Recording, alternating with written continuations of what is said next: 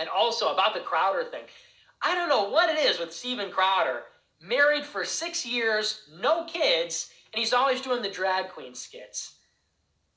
Really? I mean, there's nothing going on there. The guy just likes to dress up like a girl all the time. I think it's sort of, I don't think it's funny when people cross dress. I've never found that funny. I've, I've never considered doing that. I think it's embarrassing. I think it's stupid. I think it's weird. I think it's humiliating to do that. And it's, you know, some people think it's funny. Whatever. You do it a few times. But this guy does it all the time. This guy does it all the time. He always finds a reason to be dressed up like a girl. Married for six years. He was celibate until marriage, no kids. Celibate until marriage, married for six years, no kids. What's going on there? What's going on? I, I don't think it's, uh, you know, everything is what it seems at the old uh, mug club.